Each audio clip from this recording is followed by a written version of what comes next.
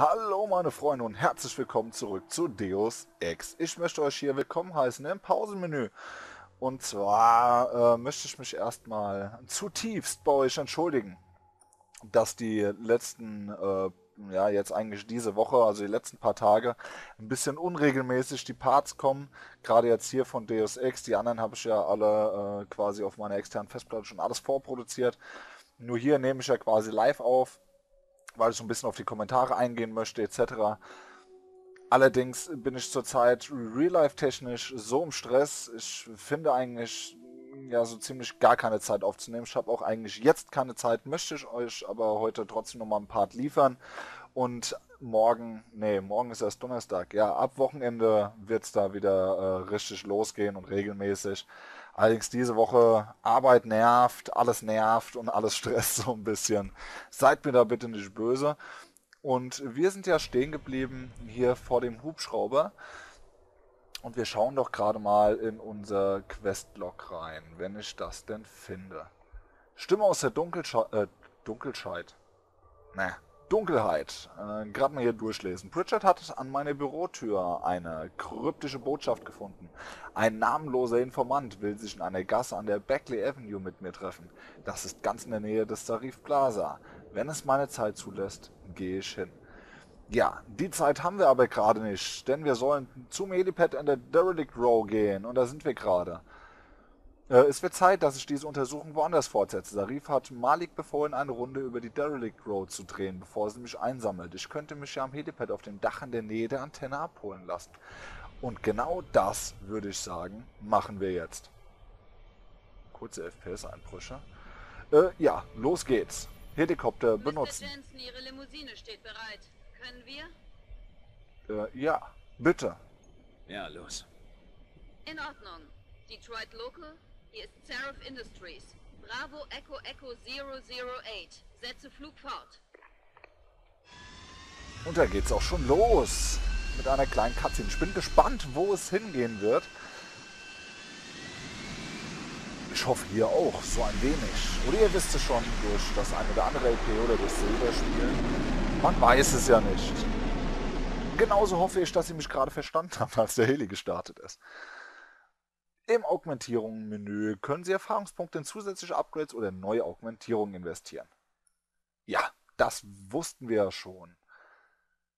Ich weiß gar nicht, wie viel Geld ich zurzeit habe. Da ist am Ende vielleicht nochmal in der Limp-Klinik so ein Praxispack möglich. Schauen wir mal. Kann sein, dass dieser Part nicht allzu lange gehen wird. Möchte ich euch nur schon mal vorwarnen.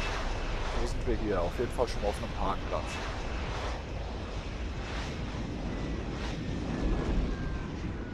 Ich bin gespannt, wenn wir zurückkommen. Pritchard, haben Sie die Koordinaten der Fabrik schon? Ich konnte nur ein ungefähres Areal ermitteln, Jensen. Sehen Sie sich um und suchen Sie etwas Ungewöhnliches. Ich überwache weiterhin die Frequenz, falls sie plötzlich aktiv werden sollte. Jo, ähm, wenn wir wieder zurückkommen sollten zu der ersten Stadt, ich weiß gar nicht, wo sind wir denn momentan? Ich will mal auf die Karte schauen. Äh, und zwar bin ich da mal sehr gespannt. Umgebung untersuchen, okay. Ob wir uns denn dann immer noch, ja, so ein bisschen mit der Polizei befeindet sind quasi. Es war schlechtes Deutsch, ich weiß. So, Gesamt-EP 32.000, in noch 2.000 oder 3.000 haben wir die nächste Praxis. Und wir haben, oh, wir haben zwei. Wir haben ja noch zwei. Mensch. Wofür setzen wir die denn ein? Wir könnten das Tarnsystem zum Beispiel mal nehmen. Was ist das? Dermalpanzerung. Was bringt das denn? Verwendung senkt Schaden um 15%. Okay. Also wir haben zwei verfügbare Praxen. Gut, wir haben im letzten Part natürlich auch schon einige äh, Quests abgeschlossen. Dieses Icarus-Landesystem soll ja nicht allzu viel bringen eigentlich.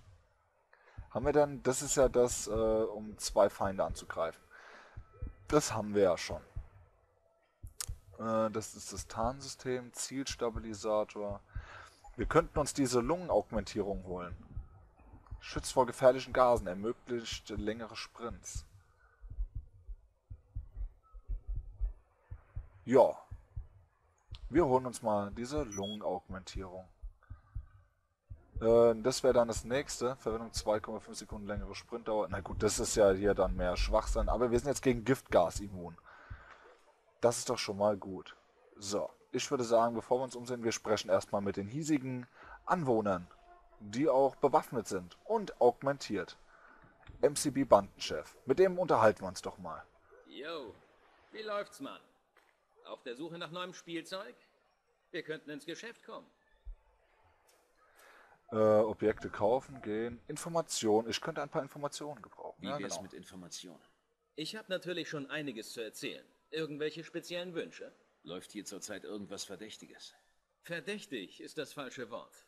Jede Menge Fahrzeuge fahren ständig rein und raus. Die planen was Großes. Wer sind die? Genau das ist das Problem. Man kann die Mistkerle nicht einordnen. Bis vor einem Monat haben Regierungsleute den Textilfabrikanten das ganze Land abgekauft. Und seitdem geht in dem Laden irgendwas ab. Was total... Wie war das nochmal? Verdächtiges. Genau, Verdächtiges.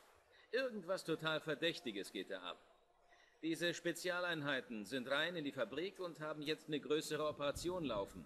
Sie haben meinen Bruder ausgeknipst, weil er da Geschäfte machen wollte. Ruhe in Frieden, Big Rizzle. Genau. Ruhe in Frieden. Sind die Spezialeinheiten noch da? Na sicher. Die haben eine Patrouille im Hof, Scharfschützen auf dem Dach, das volle Programm. Aber ich habe Fahrzeuge von der Regierung gesehen. Könnte also sein, dass alles verlegt wird und die Feds hier wieder auftauchen. Danke. Okay. Sonst noch was? Äh, schauen wir doch mal, Die was er so ein im Angebot hat. Was ist denn im Angebot? Scheiße, Mann. Wir haben gerade echt scharfe Ware. Hier, was darf sein? Spezialupgrade, äh, ein Zielberechnungssystem für Betäubungsgewehr oder Armbrust. Haben wir leider keine Munition für. Eine Gasgranate und eine EMP-Granate. Auswahl an Munition anschauen. Aber wir haben ja momentan auch gar nicht unser Betäubungsgewehr dabei. Wir schauen Mehr mal. Munition wäre nicht schlecht. Genau, Munition für Betäubungsgewehr. Bringt uns nichts, weil wir haben kein Betäubungsgewehr mehr. Wären nur nur fünf Pfeile. Munition für Schrotflinte, Armbrustbolzen. Bringt uns alles nichts. Granatenpack, nee, brauchen wir nicht. Spezialupgrade 1500. Hm. Für Betäubungsgewehr haben wir ja beides nicht, nee. Okay, gehen Ich brauche im Moment nichts. Aber danke für das Angebot.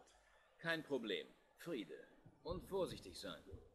Na klar, werden wir vorsichtig sein.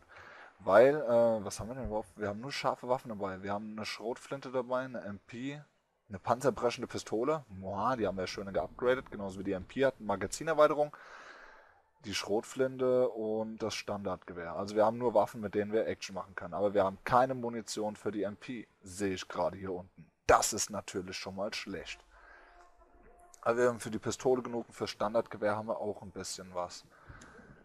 Okay. Können wir da einfach so reingehen? Hm. Wir gehen mal in den Schleichen-Modus und machen mal einen Quicksave. Dass ich einfach so hier reingehen kann? Keine Gegner, nix? Ah, eine Cutscene, aber die schauen wir uns mal an.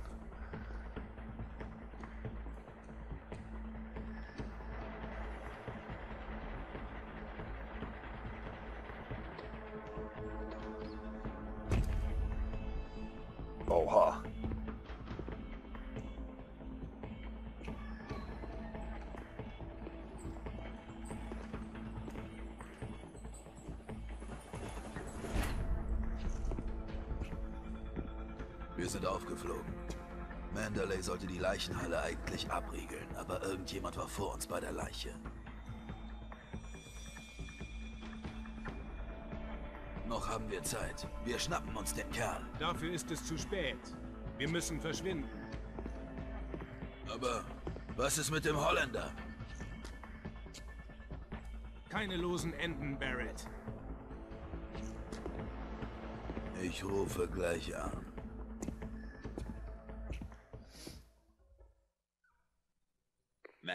Verschwinden Sie los. Warum? Was ist los? Sie sind hier. Die Söldner, die Megan und ihr Team getötet haben. Scheiße!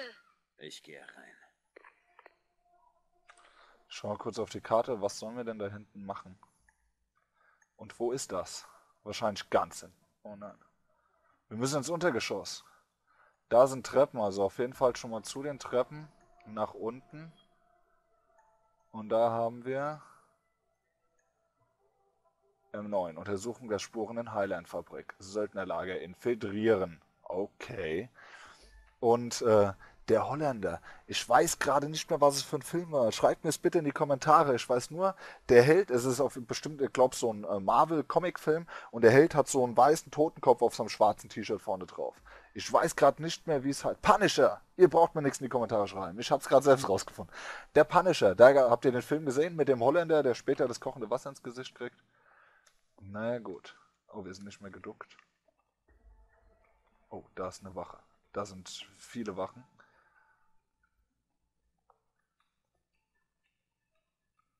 Und wir können hier ja eigentlich nur Action machen. Wir können hier mit nichts interagieren, um es vielleicht hochzuheben, um alt. Ich gucke mich trotzdem nochmal um. Vielleicht gibt es ja doch noch den einen oder anderen alternativen Weg. Ich dachte, wer hat denn da dran gekotzt? Ähm, alternative Wege. Sieht mir hier schwer mal nicht danach aus. Wenn ich jetzt rausgehen würde, hm, da gibt es auch nur diesen Eingang. Ich glaube nicht, dass hier irgendwie noch was ist. Wir könnten allerdings mal nachsehen, vorsichtshalber. Oh, hier geht es auch nochmal runter, oder werden wir, da geht es nirgendwo hin. Oh, was haben wir hier? Credit Chips. Yay, zwar nur 95, aber schon mal besser wie nix. Okay, gehen wir nochmal raus. Ich möchte mich doch noch erstmal hinten in dieser Ecke da umsehen, wo die ganzen Typen hier stehen. Wäre viel cooler, wenn wir die anheuern könnten. Aber dem ist leider nicht so. Hier ist nur so ein Container, in dem sich nichts befindet. Und ansonsten gibt es hier auch leider nicht wirklich was. MCB-Mitglied. Ja, mit denen können wir leider nichts machen. Aber die sind uns immerhin freundlich gesinnt. Yo, wie läuft's, Mann? Äh, komm, wir können hier nur noch Objekte kaufen. Hätte das sein können. Kein Problem. Ja, das breche ich mal ab. Dass wir eine neue Dia Dialogoption haben in Bezug auf, ey Leute, kommt mal mit da rein, da ist voll die Action am Start. Können wir hier hochklettern? Nein, ist keine Leiter. Das ist auch kein Lüftungsschacht, kein wirklicher da oben. Hm. Okay. Würde jetzt natürlich noch eine, eine Alternative geben, und zwar indem wir uns einfach hier in die Ecke stellen und warten, dass alles rum ist. Nein, äh, indem ich jetzt Wir könnten die Wache auch von hier aus erschießen. Bang, bang. Die kommen hier bestimmt nicht rein. Die laufen bestimmt nur da draußen drum, wenn wir die einfach alle niederschlachten. Deswegen stelle ich euch jetzt wieder die Frage. Ich weiß nicht, wie lange der Part ging. Es kann wirklich sein, dass er sehr, sehr kurz war, dann tut es mir leid. Allerdings würde ich euch jetzt gerne äh, die Frage stellen, sollen wir die einfach mal alle niedermetzeln? Ich meine, unser, unser Waffenarsenal, was wir dabei haben, würde dies definitiv äh, ja auch so sehen, dass wir die alle ups, ein bisschen äh, niederschießen und uns hier quasi wieder unseren Weg durchsparen, bis ins Untergeschoss. Und natürlich werden wir hier noch ein bisschen die Räume erforschen, weil ich möchte natürlich auch wissen, was gibt es da alles. Ja? Oder aber sollen wir wieder ein bisschen sneaky machen und versuchen an denen vorbeizuschleichen, was bei mir ja trotzdem meistens schief läuft. Aber trotzdem, der, der Wille zählt dann. Dann würde ich versuchen, uns, dass wir uns hier erstmal durchschleichen und äh, allerdings schneide ich das Ganze dann noch nicht raus. Also wenn ich dann irgendwo warte, ach, da hinten ist noch einer, den sieht man aber verdammt schlecht. Also wenn ich dann irgendwo warte, weil da jetzt irgendwie eine Wache ist, was schneide ich nicht raus, weil der ein oder andere will es sehen, der ein oder andere nicht. Und der, der es nicht sehen will, kann ja dann einfach vorspulen. Ja, das sollte ja nicht so das Problem sein, so macht man es eigentlich beiden Parteien gerecht. Und ihr schreibt mir bitte in die Kommentare Gewalt oder eher Sneaky alarmiert. Das haben wir nämlich auch noch gesehen. Ach so ein Mist. Dann gehen wir nochmal raus. So, und da sind sie nicht mal alarmiert. Dann warte ich jetzt einfach mal hier draußen. Äh, mach hier mal ein Quicksave schnell. Muhahaha. Und wie gesagt, schreibt mal in die Kommentare, ob ich da richtig Gas geben soll und mal wieder ein bisschen Action, so wie ein Polizeirevier. Oder aber auch nicht. Von daher würde ich sagen, beenden wir hier den Part, so kurz auch sein mag, und sehen uns dann morgen oder vielleicht auch erst am Freitag im nächsten Part. Ich muss gucken, ob ich das morgen packe. Äh, Ja, kann ich nicht versprechen, wie schön hier das Wasser runterläuft. Gefällt mir gerade gut. Fällt einem sonst nicht auf, aber hier ist halt diese Regenrinne. Aber na gut, es hat nichts mit der Regenrinne zu tun, es läuft einfach hier vom Dach runter. Gefällt mir aber.